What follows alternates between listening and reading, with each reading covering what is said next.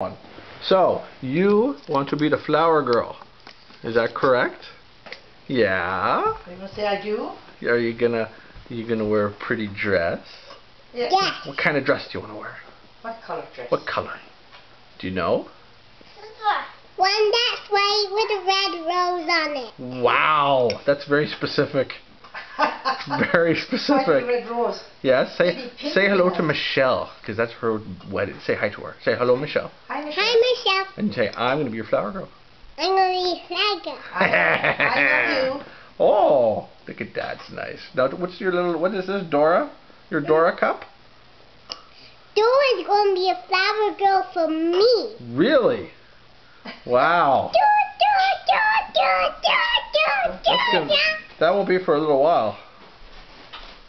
I hope. That would be good. No, she's my do. Okay, well there you go. a picture, B. I'm I'm Dora doing. I'm doing it. There you go.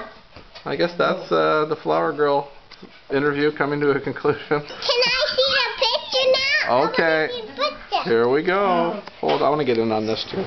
Hello. This is proof that I have goddaughters, and they're right here. Okay.